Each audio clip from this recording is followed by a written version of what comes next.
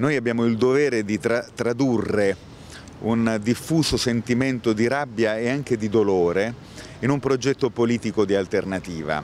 Il minimo indispensabile è che le forze di centrosinistra convergano in un cammino, in un percorso unitario. Nel Partito Democratico c'è chi più che Vendola sta aspettando magari Casini, che tra l'altro è lusingato anche dal centrodestra.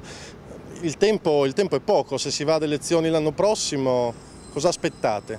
Ma il problema non è né Vendola né Casini, il problema è se un progetto di alternativa è in grado di connettersi per esempio con la lotta dei precari nell'università, è in grado di eh, capovolgere il disegno della Gelmini di devastazione della pubblica istruzione, è in grado di dire che non si può smontare la civiltà del lavoro e distruggere lo statuto dei diritti dei lavoratori. No?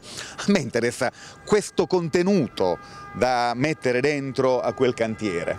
Quando ci sarà un tavolo sul quale ci sarà questo contenuto, vi sedete, Bersani cosa aspetta? Vorrei dire ai partiti del centro-sinistra quello che dice eh, Shakespeare, ci sono molte più cose tra cielo e terra di quante non ce ne siano nelle filosofie dei partiti di centro-sinistra. Noi siamo indispensabili, siamo diciamo, necessari ma non esauriamo eh, la vasta platea di coloro che si oppongono a Berlusconi e quindi io penso che il problema non è Vendola e Casini, il problema è un progetto di trasformazione radicale del nostro paese o è un, un disegno diciamo, di galleggiamento dentro al palazzo. L'hanno capito tutti a sinistra?